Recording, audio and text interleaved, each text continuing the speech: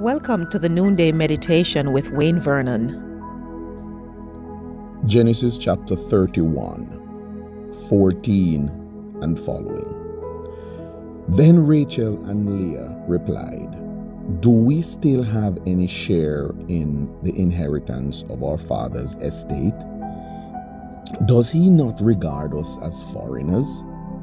Not only has he sold us, but he has used up what was paid for us. Surely, all the wealth that God took away from our Father belongs to us and our children. So do whatever God has told you. Sensing that danger was looming over his head, Jacob called his wives to meet in the fields with him.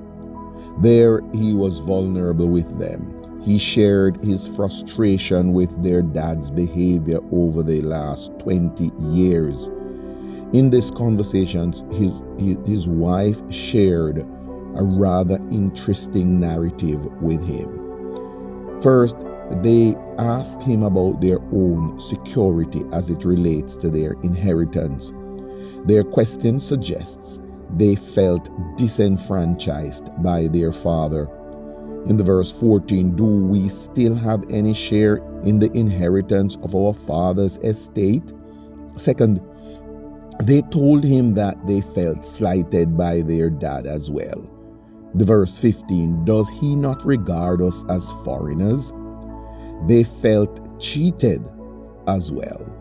Not only has he sold us, but he has used up what was paid for us. They also felt vindicated by God.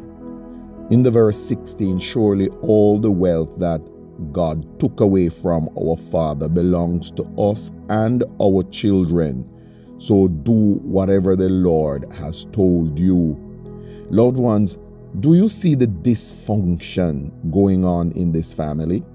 Relationships are all broken down. There is no unity.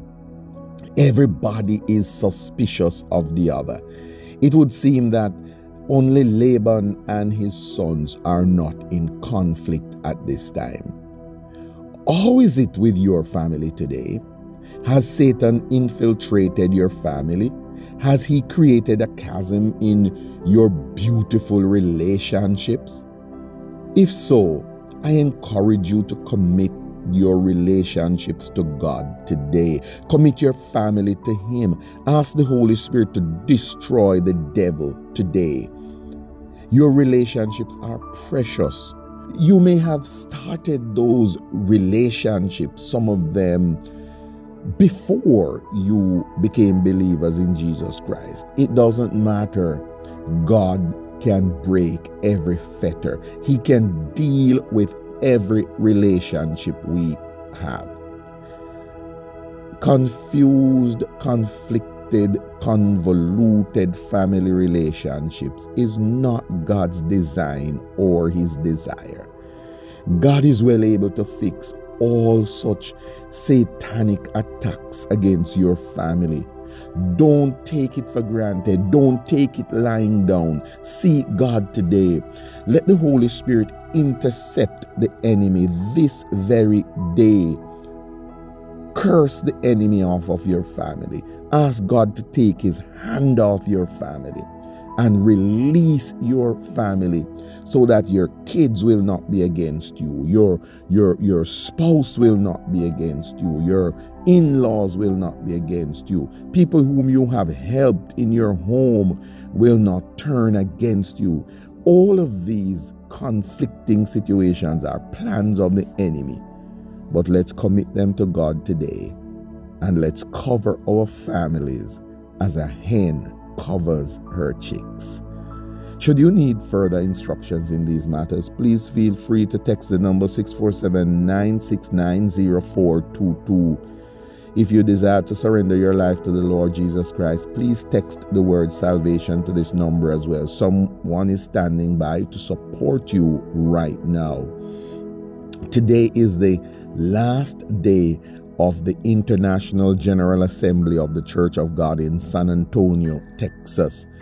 After today, we will be leaving this site to go back to our churches with the blessings and the and the peace that God has bestowed upon us during this week here in San Antonio. But may I encourage you to pick up your book, my book, Six Practices of Effective Leadership. You need to get your copy today. Uh, we have only a few copies left here with us in San Antonio. If you come by, we will be able to sign your book and uh, just put a, a, a leadership thought in it for you. If you are not at the General Assembly, please just go to Amazon and pick up your copy. The link is provided in the description below. May the grace of our Lord Jesus Christ be with you all. Amen. Thank you for listening to the Noonday Meditation with Pastor Wayne Vernon. Please forward this study to your friends, relatives, associates, neighbors, and all of those persons who share your social network. If you have a prayer request, please feel free to communicate with us and we will commit to supporting you in prayer. Until we meet again on Monday. Shalom.